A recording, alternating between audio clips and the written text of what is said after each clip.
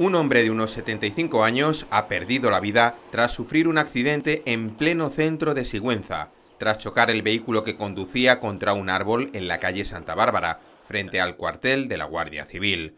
Según han confirmado fuentes del Servicio de Emergencias 112 de Castilla-La Mancha, el suceso ocurría a la una de la tarde de hoy y los servicios sanitarios no han podido hacer nada por salvar la vida del fallecido, que quedaba atrapado en el interior del vehículo. En el operativo movilizado por el 112 han participado la Guardia Civil, los bomberos de Sigüenza, una UBI móvil y una ambulancia de soporte vital básico.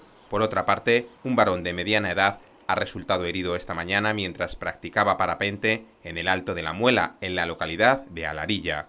Fuentes del 112 han informado que el accidente se ha registrado poco después de las 12 en las labores de despegue.